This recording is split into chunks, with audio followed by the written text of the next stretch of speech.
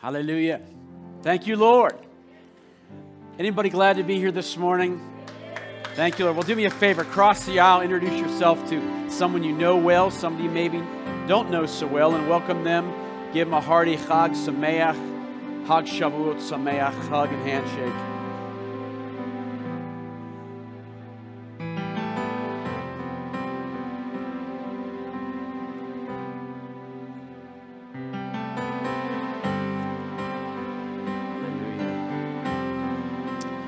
We have an intimate group this morning. Many of our people are at the conference, and many will be leaving shortly for the conference at Faith Chapel. It's a free conference, it's a one new man conference. Many of our people have been putting it on and volunteering, but we are here on God's appointed time. Amen. Well, you may be seated for a few minutes. Let's talk about the appointed time we're here for today. As we open up this Shabbat service, focused on the festival of Shavuot, which actually begins this evening. Many of us have learned by experience that often sequels, whether it's a movie sequel or something else, are almost is never as good as the original, except for Top Gun, which my wife and I saw this weekend, past weekend, which was. But, well, just so happens we have a sequel Uh, more like a rerun actually, with some significant changes and enhancements in the Word of God that is just as powerful as the original. Dare I say, even more powerful. And I believe that's exactly how Adonai wanted us to view this holiday of Shavuot, in a sense, as a prequel, part one, to be continued. And now, part two of this festival came nearly 1,550 years later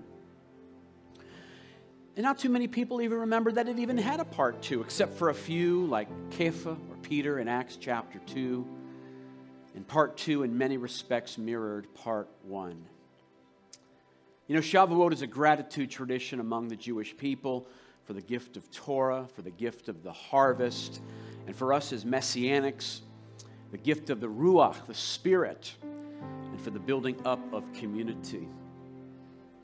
It's true that many of our people, the Jewish people, many non Jews as well, don't even observe this festival. But that, does that make it a good idea to not undertake this inconvenience, as it were, of gratitude? Of course not. Go with me in the Word of God to Devarim, Deuteronomy chapter 16, and let's begin reading uh, in verse 9 this morning. Seven weeks you are to count for yourself. And we have. From the time you begin to put the sickle to the standing grain, you will begin to count seven weeks.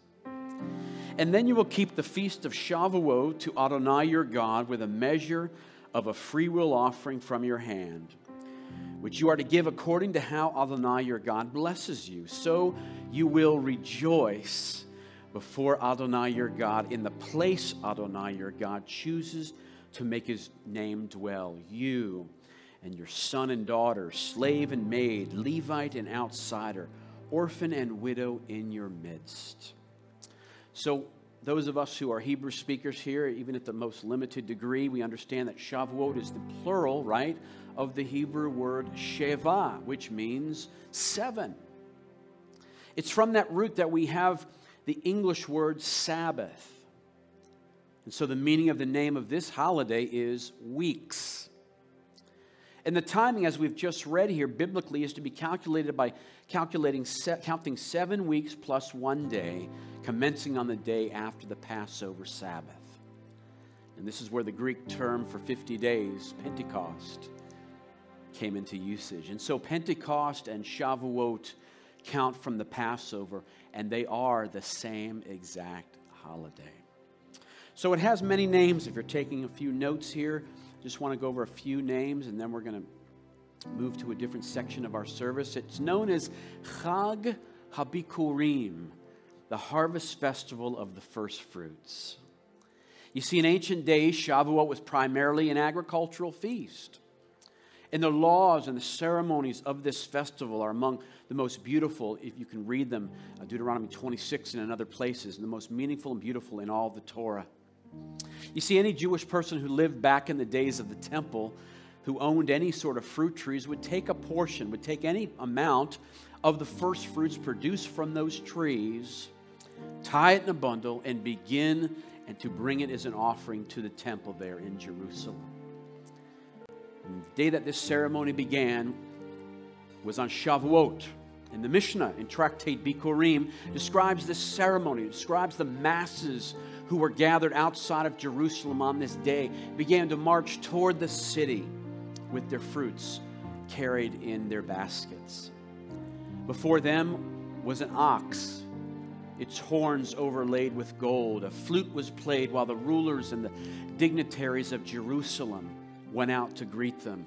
And then came the beautiful pageantry of the temple service, which the Levites would break forth in songs while the farmers carried their baskets into the temple, placing them next to the altar, reciting prayers of thanksgiving. First fruits of the wheat harvest were then brought before God in the temple. Again, first fruits of that portion of the crop or produce which is set apart for the Lord, for his use only. And so, giving of first fruits honored the Lord. He recognized God as our provider. And so, when the Israelites had returned that amount back to the Lord, God graciously returned the rest of the land's produce back for their sustenance. You see, their purpose in giving first fruits to God was therefore to show what? To show His ownership over the land and their reliance on God to provide the remainder of the harvest through their labor. Now, we know that the feasts of Israel were all harvest festivals and were times for the people to gather together into the Lord and to celebrate His provision. And so these harvest festivals are used, my friends, as reminders of the transitions which God wishes to bring all of us through. Why? So that our spiritual pilgrimage will bear the fruit that He has already planted deep in our lives. So, if Passover is considered the birth of the nation of Israel, what's Shavuot? Well, Shavuot could be its bar or bat mitzvah, the time when ad- adolescents come of age, the time when adolescents are considered old enough, adult enough to be responsible for their moral duties and their spiritual duties as expressed in the Torah. And likewise, we can liken Shavuot to a spiritual adolescence as well, where God takes what He's redeemed at Passover changes it, giving us focus, giving us purpose. My friends, through all of God's festivals, He allowed Israel to function as a prophetic vehicle to lead all mankind to His glorious Messiah, Yeshua. I believe the festivals do the same thing in our generation. They will lead honest, you got to be an honest seeker. If you are honest, it'll lead you to the Messiah. Number two, it's known as Atzeret Shel Pesach the completion of Passover, as I mentioned. Passover 50 days ago, right, brought us freedom out of Egypt. But freedom without laws, what's that? It's chaos, right? It's anarchy. No legal restraints on murder, robbery. How could we travel without traffic laws, etc.? And so God gave Israel the Torah, which just means instruction, by the way, at Mount Sinai, not to take back her freedom, but to preserve it to provide direction for our people. And finally, it's known, this festival is known as Zman Rabban Matan, rather, Zman Matan Torateinu, the time of the giving of our Torah, according to unanimous Jewish tradition, which was received during the days of Yeshua. The Sinaitic theophany, the giving of the Torah, was given at Mount Sinai 50 days after our people left Egypt. Now, I don't think really we can make any exact assumption with regarding to the exact date of the giving of the Ten Commandments or the rest of the Torah. The scripture is actually not that precise. Exodus 19:1 tells us it was in the third month, but not in such a way as to indicate which day on the third month. But even the later verses describe the number of days of preparation before Moses went to receive the Torah are not given by specific dates. And so it seems to me we can't determine the exact day of the giving of the Torah, but in any event, we're to accept this wonderful gift of Torah that God gave us at this season. In Jewish tradition, Shavuot is compared to a wedding. For it was on Shavuot that the covenant between God and the Jewish people was then sealed at Mount Sinai. A colleague and I were speaking several years back, many years back now, and he was sharing with me that when in his synagogue, when the Sefer Torah comes out of the ark, it's analogous to when Adonai handed the Torah to Moses at Mount Sinai.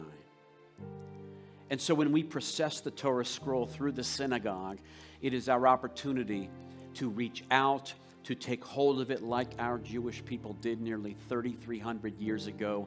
And once again, we say, like they did back then to our God, Naaseh v'nishma.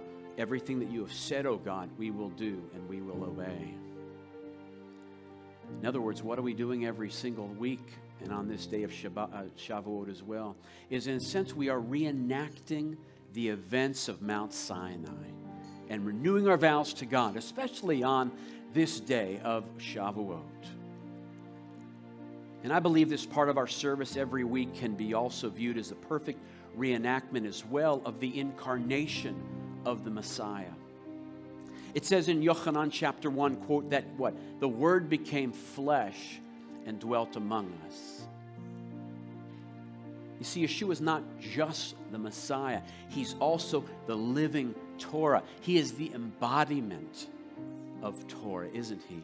And so when we open up the ark and we bring the Torah scroll down from the bema into the congregation, that in a sense can be likened to the incarnation.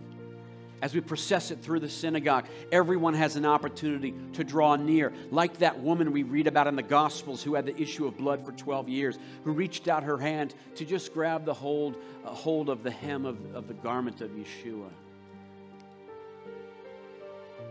Friend of Tree of Life emailed me on this matter and said this quote, Every time the ark is opened to reveal the Torah scroll, I feel and I see the fire of God, and the mighty wind blows out and overwhelms me.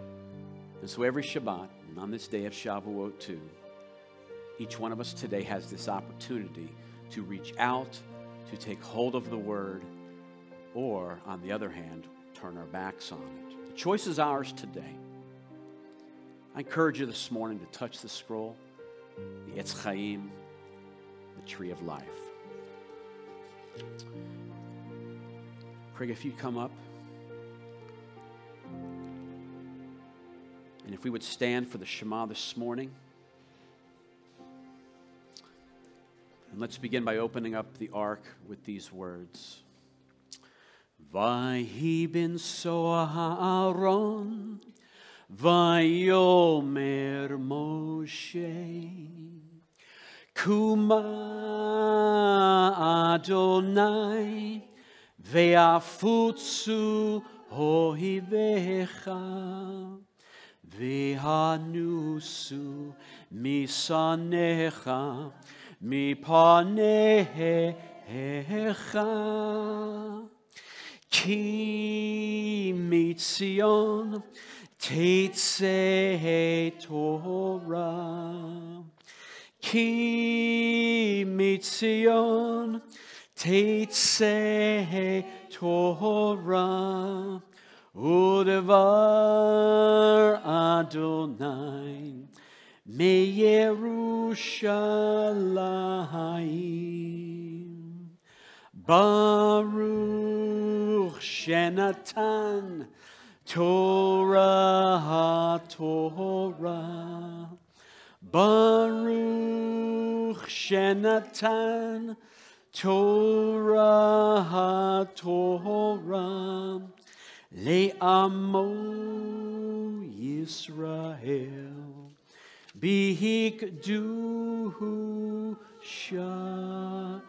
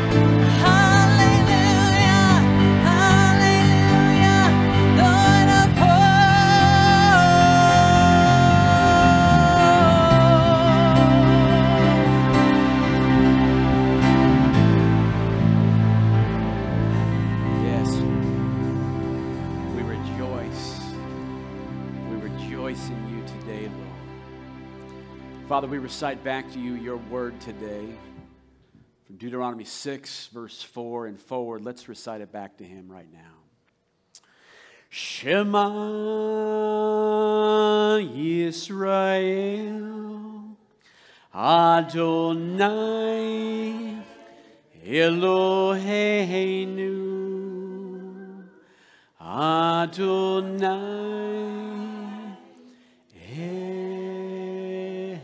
Echad Baruch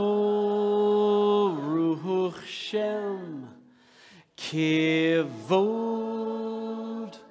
Malchuto Leolam Va'ed.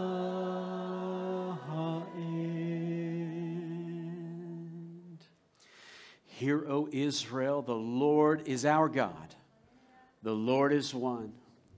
Blessed be the name of his glorious kingdom, which is forever and ever. Amen. Amen. You may be seated. Open up your scriptures this morning to Exodus chapter 19 for the reading on this day. We begin in verse 1 in the third month after Bnei Israel had gone out of the land of Egypt. That same day, they arrived at the wilderness of Sinai. They traveled from Rephidim, came into the wilderness of Sinai, and set up camp in the wilderness. Israel camped there, right in front of the mountain.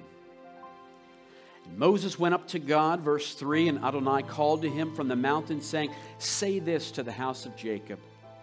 And tell Bnei Israel, you have seen what I did to the Egyptians, and how I carried you on eagle's wings and brought you to myself. Now then, if you listen closely to my voice and keep my brit, my covenant, then you will be my own segula, my own treasure from among all people, for all the earth is mine.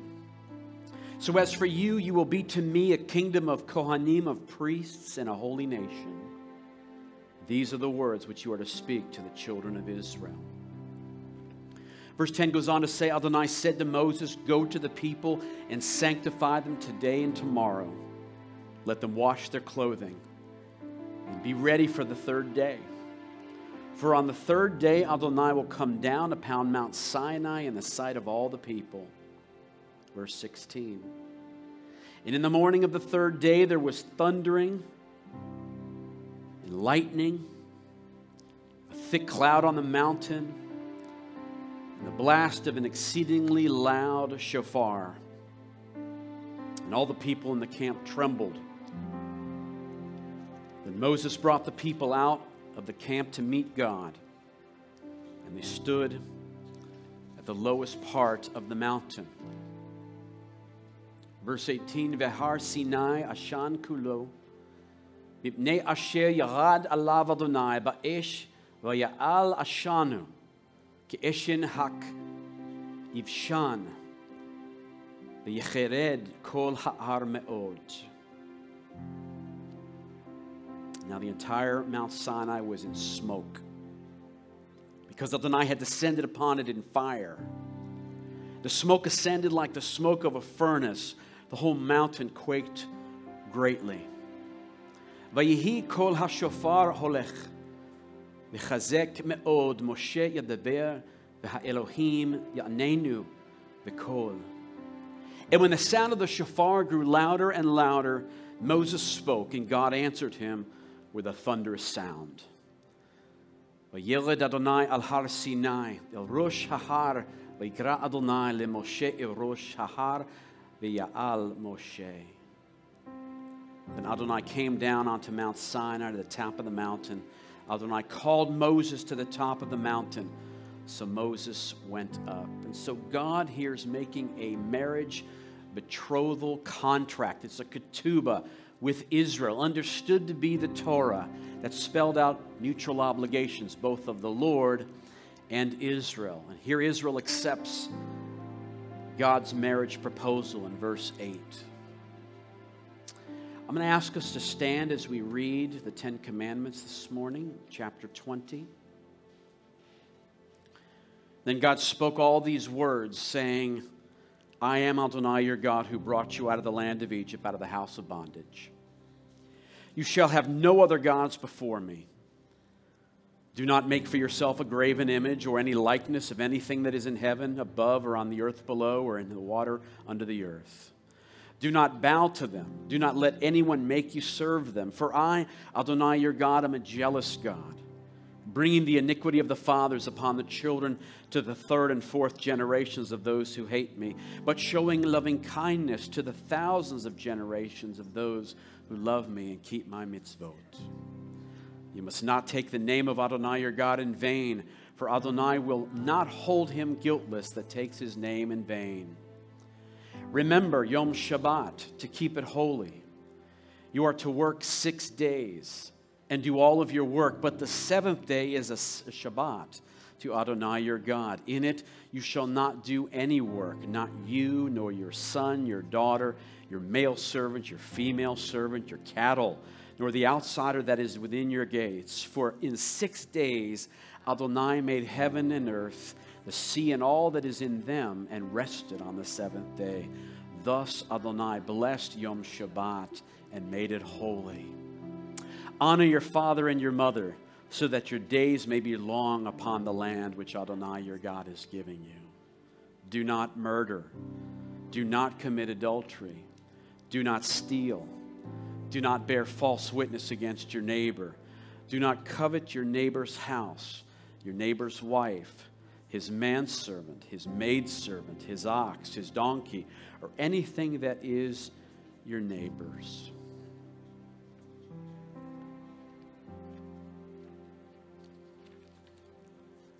Let's go before the Lord in that spirit of awe and reverence this morning as we worship Him and as we praise Him.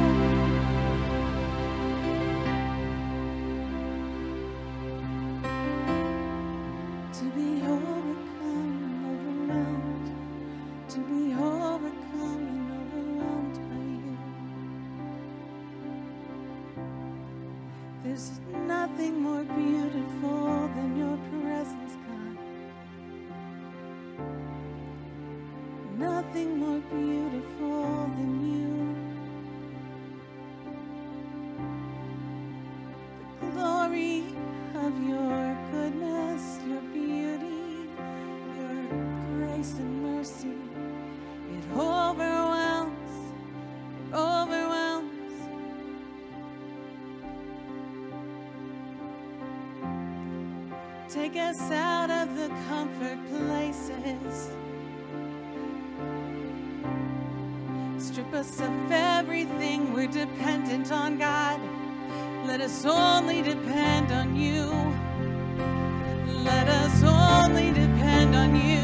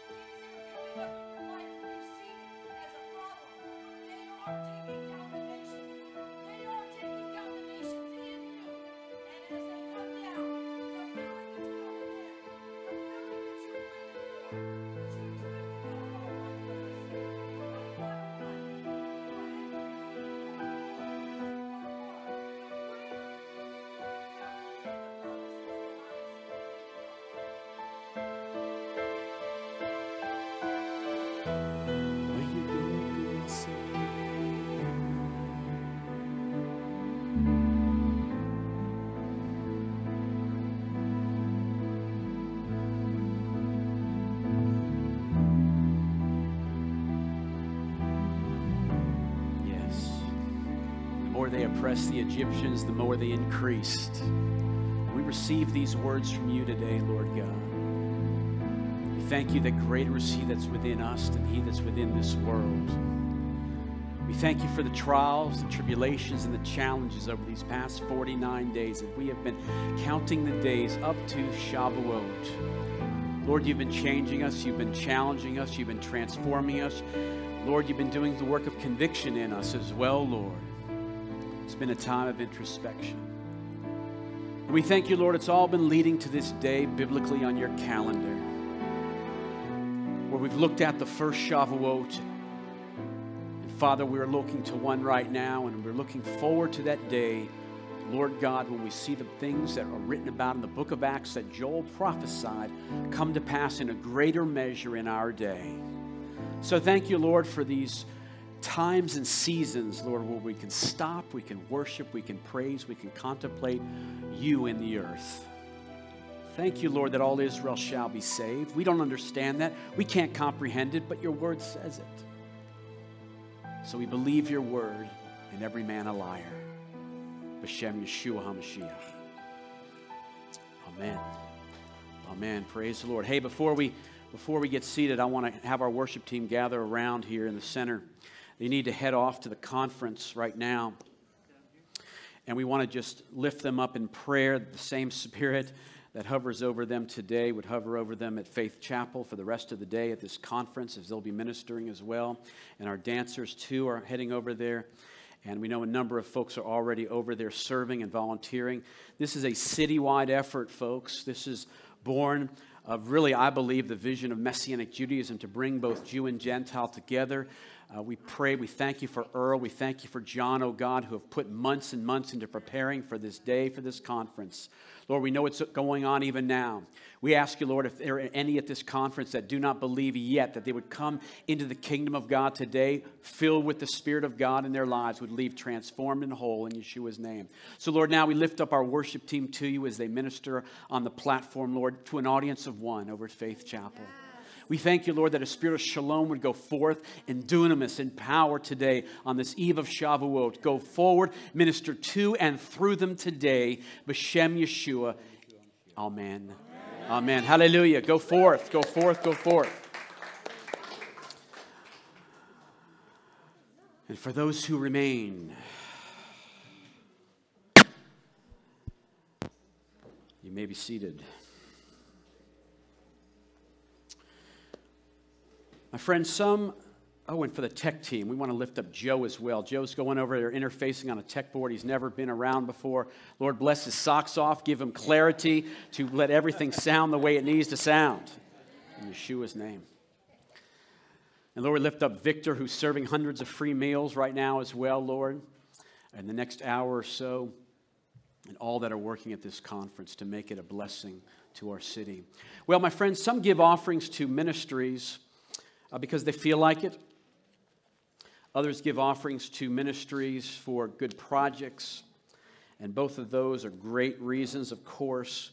But there's even a higher motivation, I believe, for our giving, and it's because we are giving based on covenant found in the Word of God. Go with me in the Torah to the closing chapters of the Torah where we find, we look ahead to the future of Israel.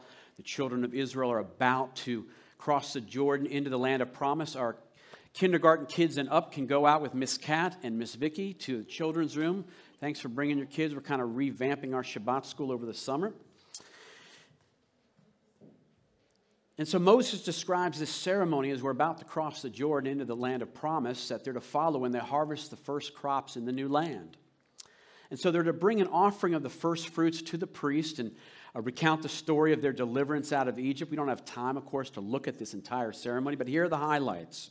Deuteronomy 26, let's look at verse 1. Now, when you enter the land that Adonai your God is giving you as an inheritance, and you possess it and dwell in it, you are to take some of the first of all the produce of the soil, which you gather from your land that Adonai your God is giving you, put it in a basket, go to the place Adonai your God chooses to make his name dwell. Verse 4. The Kohen, the priest, is to take the basket from your hand and set it down before the altar of Adonai your God. And so he, these were the laws and these were the ceremonies for Shavuot, bringing the first fruits to the priest. This is actually a special offering of first fruits from the first of the harvest they gained in the promised land is contrasted with the first fruits that were regularly brought to the priests uh, in Numbers chapter 18, for example. Look with me.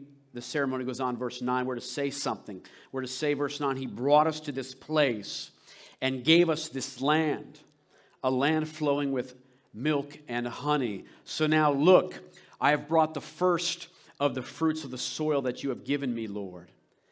Then you are to set it down before the Lord your God and worship before the Lord your God. And so these are the words of praise. These are the words of thanks at the giving of first fruits. This was an important way to say, Todah Rabbah, thanks so much, God. And so giving, of course, with the right heart was expected. That's the proper way to worship. Finally, verse 11 You will rejoice in all the good that Adonai your God has given to you and to your house you, the Levite, and the outsider in your midst. And so we're to do this not in a spirit of, oh, I don't know how I'm going to pay my bills. No, we're to rejoice. Giving causes us to rejoice. And so that's the proper response to our Creator today who has supplied us with all good things. Thank you, those who are logging on on our Facebook live stream or watching us archived on our YouTube page. Thank you for continuing to give electronically. Thank you for sending in checks to our P.O. box. Thank you for giving here in person. Let's go before God in our giving today. Uh, Avinu Malkeinu, our Father and our King. We thank you for this beautiful ceremony found in Torah on this Shavuot. And Lord, maybe next year we'll actually get some baskets and reenact this ceremony, Lord, as we think about it. But it's a blessing. Lord, to give back to you, knowing, Lord, that you desire to bless us 30, 60, and 100 fold, that we might continue the cycle of blessing the nations, blessing our people here in San Diego, blessing the rest of the community. We thank you ahead of time for your provision and for the ceremony and scriptures. B'Shem Yeshua. Amen. Amen. Listen, if there's anybody here for the first time, thanks, Ferris. Raise your hand. Ferris and Jeff will put a free book into your hands. The Fig Tree Blossoms. It'll give you an understanding of why we do what we do here uh, and our mission and our vision statement. And while they're doing that, I want to play for the final time the conference video. If you've not made up your mind uh, to go after this service over to Faith Chapel, 9400 Campo Road in Spring Valley, I want to encourage you for the last time. Don't miss the second half of this conference, guys. We can play that final time.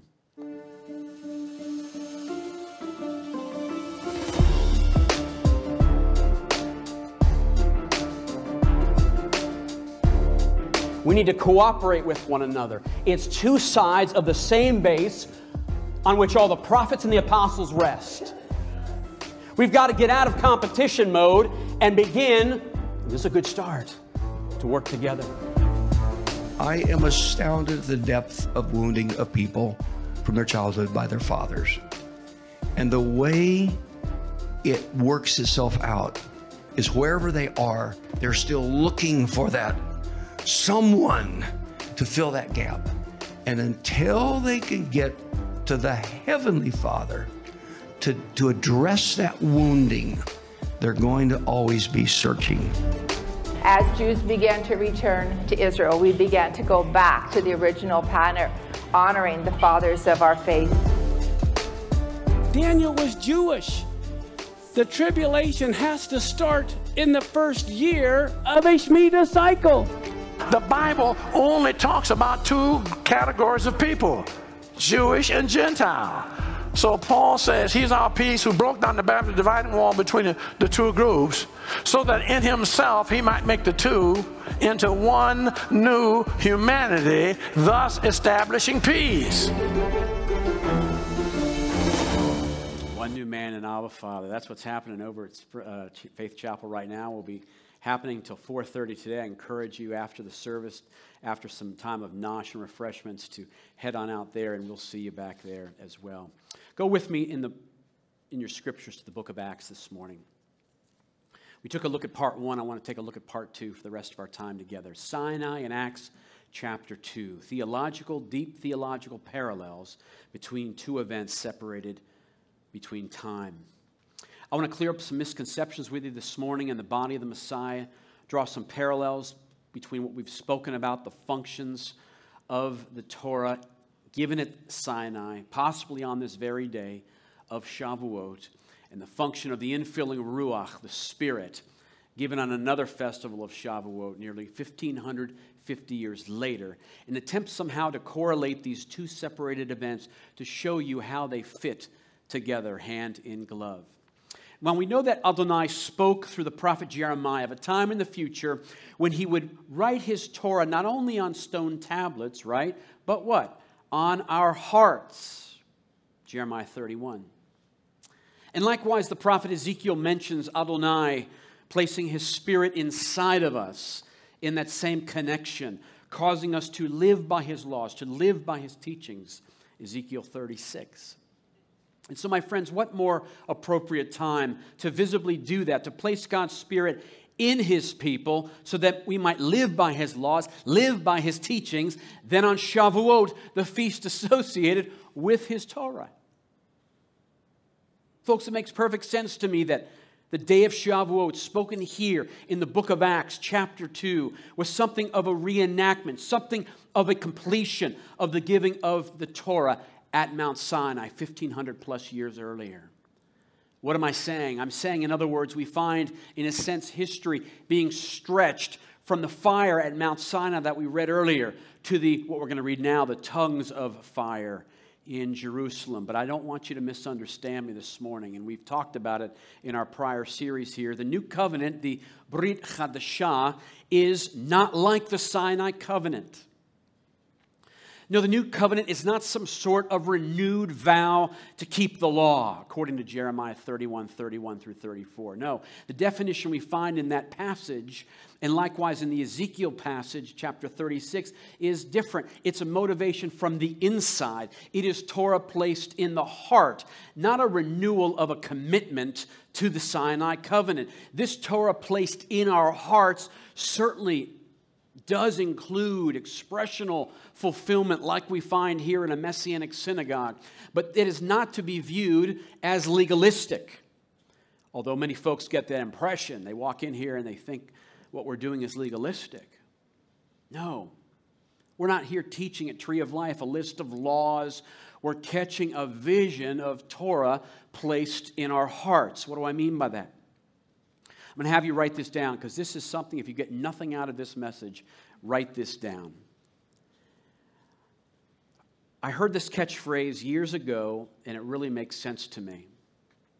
And it is this The Spirit of God, without the Torah of God, is contentless, while the Torah of God, without the Spirit of God, is powerless. Let me repeat that. The Spirit of God without the Torah of God is contentless, while the Torah without the Spirit is powerless. You see, the Spirit empowers us to live out the Torah, imperfectly, of course. And the Torah is the specific content in which the Spirit is leading us to walk.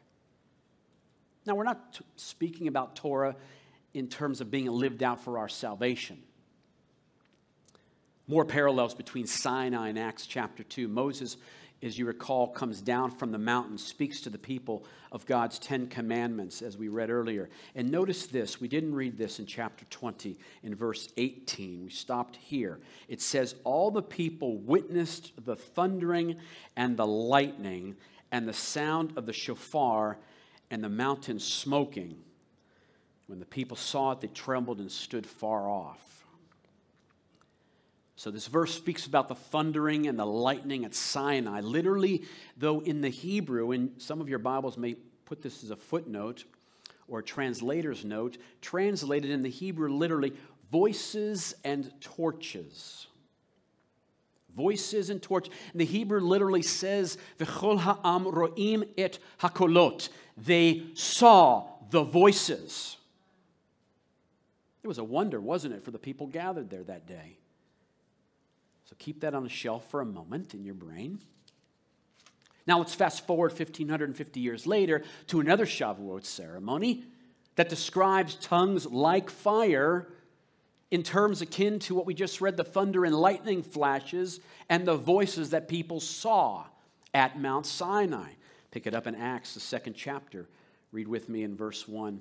When the day of Shavuot had come, they were all together in one place. Suddenly, there came from heaven a sound like a mighty rushing wind, and it filled the whole house where they were sitting. And tongues like fire, spreading out, appeared to them and settled on each one of them. And only 10% were filled with the Ruach Kodesh. they were all filled with Ruach HaKodesh and began to speak in other tongues as the Spirit enabled them to speak out. My friends, the roar and the fire here in Jerusalem in Acts chapter 2 recalled back 1500 years earlier to the fire and the smoke and the sounds at Sinai that we just read.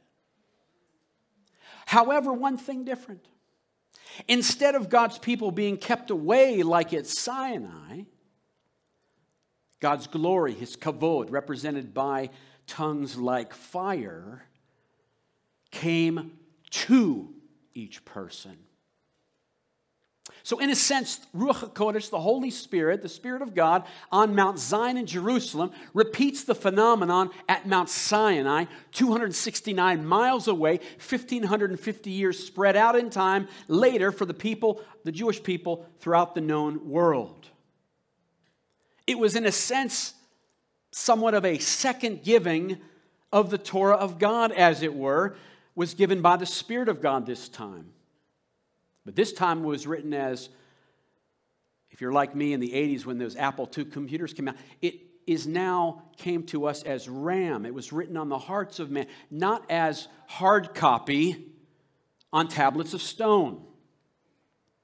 You see, it was always God's intention, my friends, to bring the Jewish new covenant to the Jewish people in a Jewish way. And so God's making use of the maximum use of his moedim, of his appointed times, to convey new truths in ways that emphasize their connection with old truths.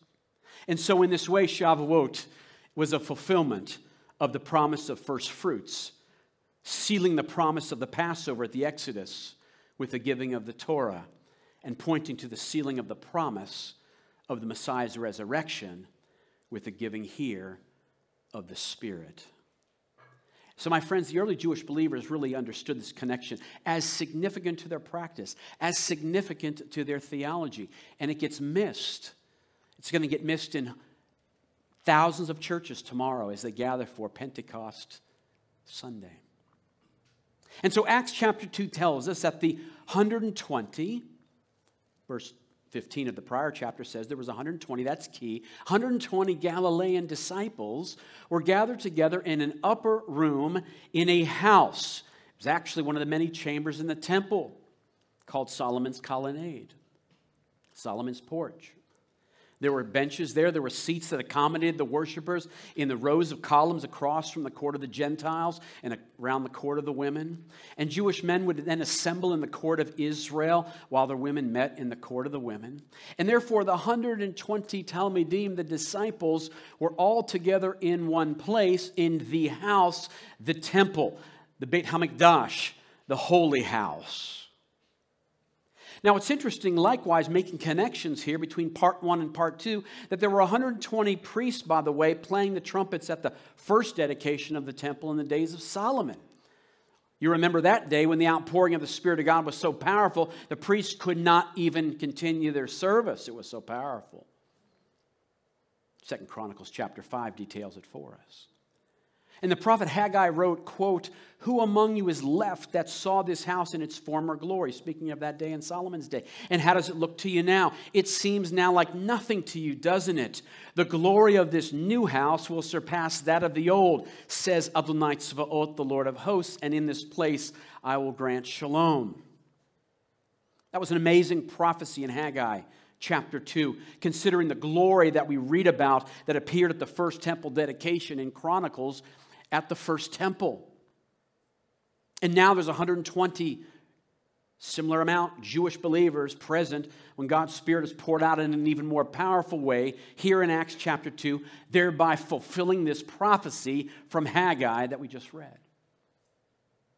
And as a result of Peter's explanation that morning concerning the outpouring of the Spirit that he's preaching to the crowd there that had gathered, there was added that day, folks, this was a great day, three thousand souls who were then immersed, by the way, verse 41 of this chapter 2. How many of you know the only place that this could have happened would be at the temple? The southern steps of the temple, when we go on tour, it's one of my favorite spots in Israel, could hold the size of this crowd of thousands. Nobody else in Jerusalem had a big enough house that could accommodate these thousands except God's house temple also had proper mikvaot, immersion pools, who could be used, which could be used for immersing the thousands that came to know Yeshua that day. So let's put it all together this morning. Yeshua dies at Passover season. It was 50 days later that the Holy Spirit's poured out in Acts chapter 2. In the prior chapter, in chapter 1, verse 3, we see Yeshua appeared to his followers during the first 40 of those 50 days. Why? Because Yeshua was preparing them for the great spiritual harvest that was about to come, that was going to parallel the physical harvest that they were bringing that was to come. And as the Torah commanded our Jewish people to count these 50 days for the promise of the physical harvest from Reshit Kitzerchem, the first of your harvest, the barley sheaves, to now Lechem Habikurim, the first fruits of bread, the wheat, at Shavuot. Likewise, our Messiah Yeshua commanded his Shelachim, his emissaries, to wait in Jerusalem during the same 50 day counting period until they saw the promise, not of the physical harvest, but of the spiritual harvest brought about by the outpouring of the Spirit of God that was prophesied to take place. 50 days ago on the biblical calendar, we gathered. The earlier first fruits offering was given on the day of the resurrection of Yeshua. It pictures Messiah as our first fruits offering from the dead. We learned that 50 days ago. But this second first fruits offering, this is a far different picture, my friends, altogether. This offering is a picture of the believers in Messiah, his called out ones. Acts chapter 2 shows how this happened when the feast of Shavuot had fully come. As followers of Yeshua today, you and I comprise a second first fruits offering to the Father. As Yeshua was that first fruits offering way back at the resurrection, so also we are a first fruits offering in his new creation, the body of, as if you will, of the Messiah. We are for God's use only. We've been stamped, set apart to Him, totally dedicated to Him, totally sold out to Him. And along with the privileges of being God's first fruits also comes much responsibilities, right? As Yeshua said, to whom what? Much is given, much is required. We're expected to serve and to live in a way that God is honored in everything that we do. And as his followers, we are to present ourselves for God's use only. We experience his multitude of spiritual blessings as we do that, as we yield ourselves to the Lord, as we live for the Lord, as he begins to fulfill his purpose in us. During this counting period of 50 days, it appeared as we see here in Acts 2, that Yeshua's followers had all but been scattered to the wind, right? We know that there were 500 witnesses that saw Yeshua between Passover and this day of Shavuot, but there's only 120 here present at the events in Acts chapter 2. Where were the rest of the 380? Well, they seemed again to be kind of just discouraged and depressed. They scattered themselves. They had returned to their daily lives, no doubt. Their messianic hopes probably were dashed to pieces like pottery. And it had only been, guess what? Only been 10 days since they had last seen Yeshua. My friends, what do we take from this? I think a couple of thoughts. Number one, I believe God is doing the same thing today. He's giving us 50 days, so to speak,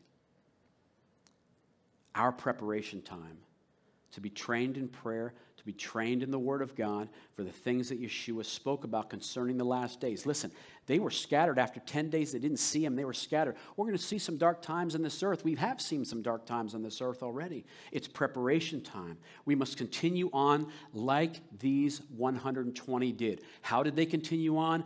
Unshakable. Number two, I believe that the day is coming soon when the conditions are going to be ripe, which the fire was poured out, is going to be recreated. We're going to have a recreation event, I believe. The fire is again going to fall on Messianic Jews in Jerusalem, connected to the celebration of the biblical feasts. Now, if that expectation, and it's mine, if that expectation is shared in partnership by international believers of every tongue, tribe, and nation, I believe that it could be a catalyst for a mighty revival to break forth, as written about by the prophet Joel and quoted by Peter here.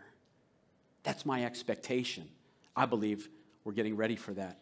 And number three, collectively, the followers of Yeshua, we are known actually as Kalat Moshiach, the bride of the Messiah. Presently, we're living in a betrothal period, as it were, which the bride and the groom were separated until the wedding day. Our responsibility during that time of separation is to be, again, faithful, unshakable, faithful to our heavenly bridegroom. When he returns, when Yeshua returns, we will finally, praise God, be united with him, and the glorious wedding ceremony will take place. And money's not going to be an issue, is it, at that time, to put on a wedding? So, why do you think, as we close here, why do you think that God chose this festival to pour out his Spirit? Well, we've seen it was a scriptural day of harvest, wasn't it? I'll say it was. 3,000 people. This is a pretty good day. 3,000 people accepted Yeshua and were immersed. Oh man, you know, we get tired. We immerse 20, 30 people. 3,000 people were immersed. Interestingly enough, on the flip side, 3,000 idolaters of the golden calf were killed at Sinai. Number two was its scriptural day of first fruits as well. Now, some suggest that there's further significance to the first fruits offering at this time. Often you'll see two loaves of grain being offered that they symbolize both Jews and Gentiles coming together in the unity of the Spirit to work together. That's what we're doing. That's what this whole conference is about today hand in hand, arm in arm for Yeshua until he returns. The first fruits of Shavuot is fulfilled in the Messiah. Quote, the Messiah has been raised from the dead, the first fruits of those who have died.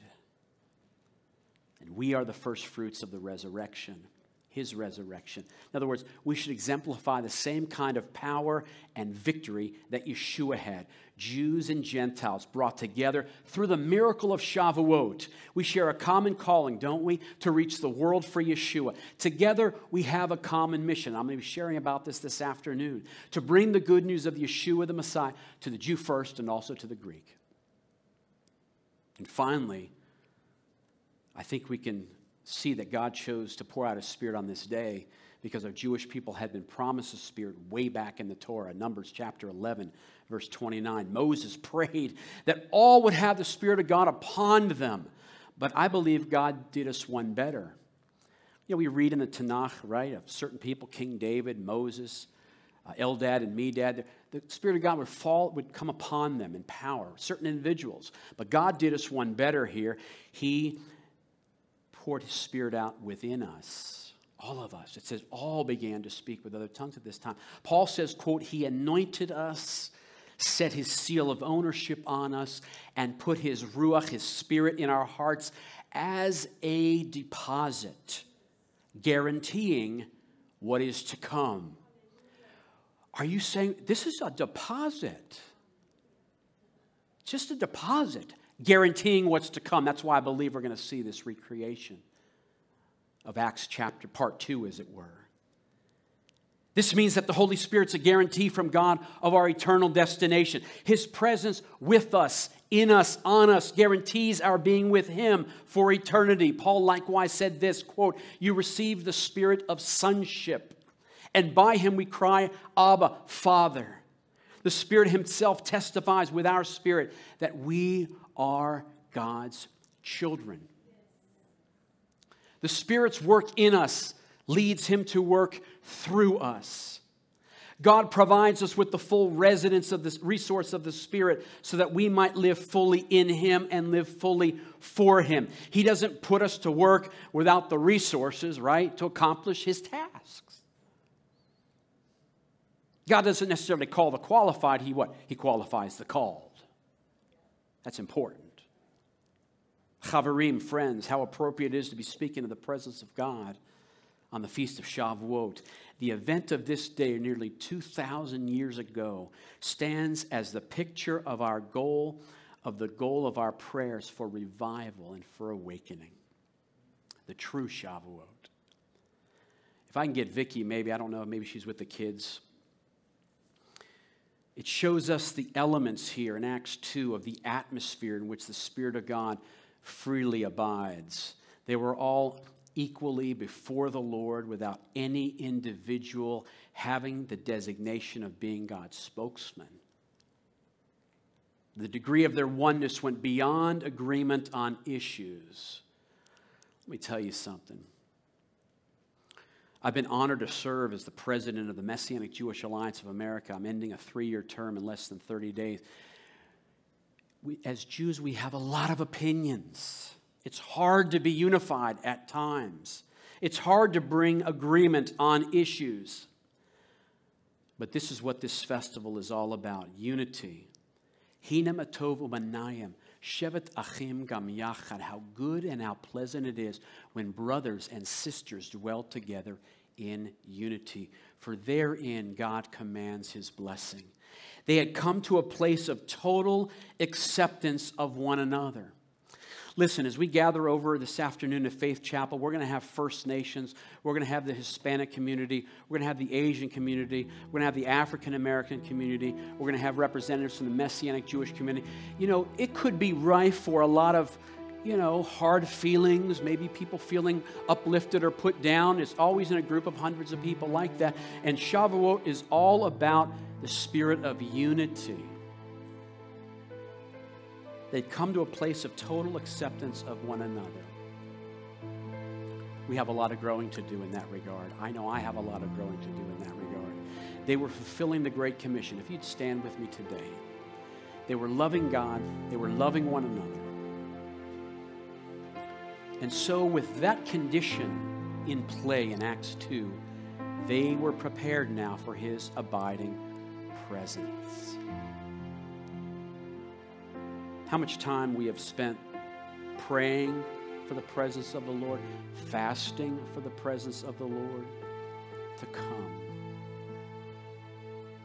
Is it that we want God to do something like heal the sick in our bodies or our families, eh, raise the dead, maybe, save the lost? How would we think, or what would be our process if we simply desired God to come and just be with us?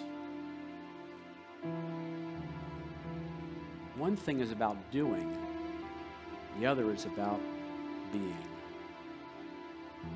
to desire Him for His love and for His beauty is so different, isn't it, from desiring Him for what He can do?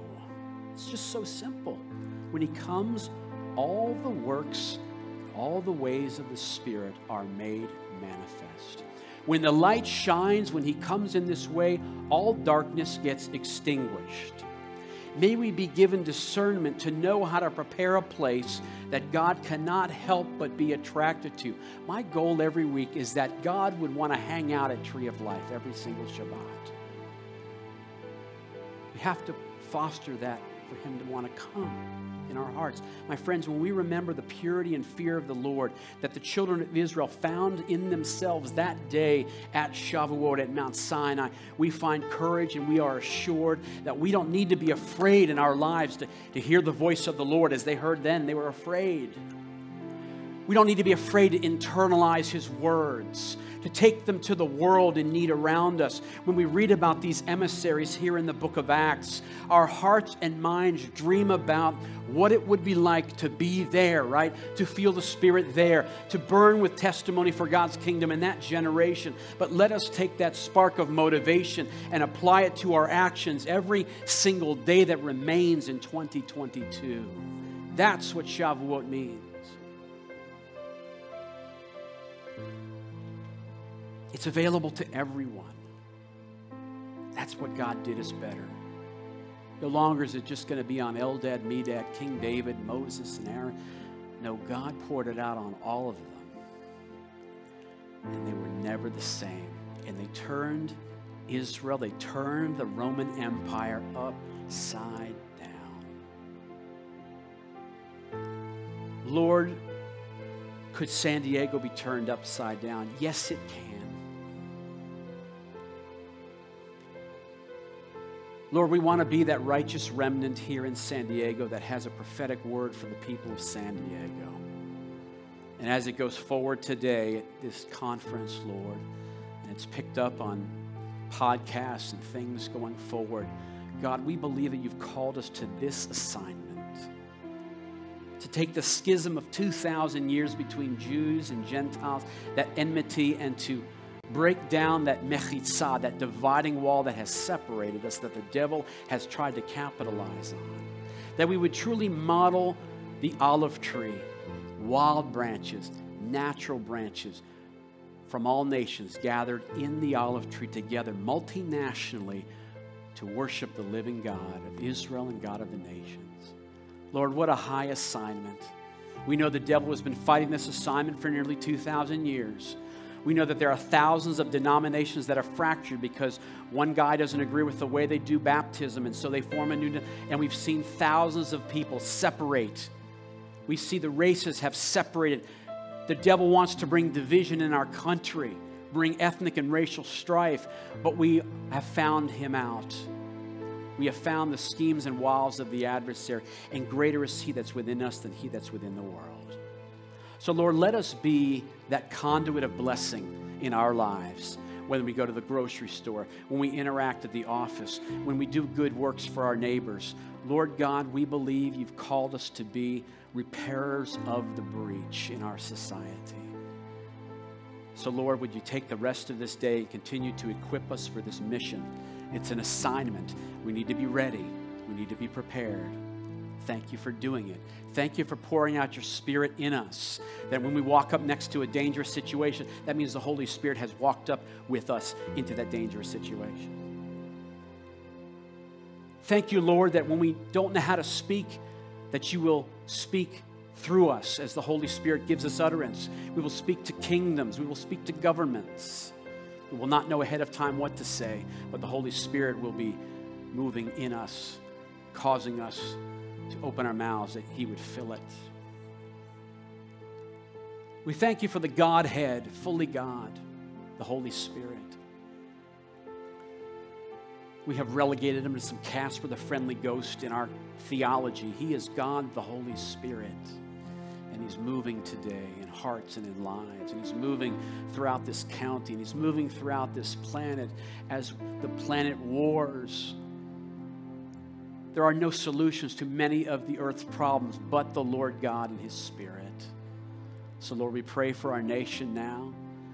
We pray for the families down in Uvalde and in Buffalo and in all of these places in Iowa, Lord God. We know that only Yeshua the Messiah can solve these problems. The yielding to his lordship in lives and in hearts is the solution to these problems. Sounds simplistic, but it's the truth. So, Lord, we ask that we would be able to look through the eyes of faith, the eyes of the Spirit, to be able to be that voice in our world to call the world back to you. May a spirit of shuvah, of shuvah, of repentance pervade this city, county, state, and country. Father, we need it. Our country is going the wrong direction. And Lord, only you would give us more time to share the good news of Messiah before the great day of the tribulation comes, these difficult times. Thank you, Lord, for doing it and for equipping us, little old us, in your kingdom. For you use the foolish things of this world to confound the very elect. We bless you out of Zion today from San Diego. We wish each other a Chag Shavuot Sameach. It is traditional, by the way, as the word is read, it brings joy to our hearts, it brings happiness and sweetness. And so that's why we eat sweet dairy things, as you'll find out in the lobby. I believe some have brought some cheesecake or root beer floats. These foods help us to remember that honey and milk, the word of God, are even under our tongue. And so, as God told Moses to tell Aaron and his sons how to bless the children of Israel in those days, likewise, this is God's prayer over us this day. Adonai v'yishmerecha יאר אדוני פניו אליך ויחונקה. יישא אדוני פניו אליך וישם עליך Shalom.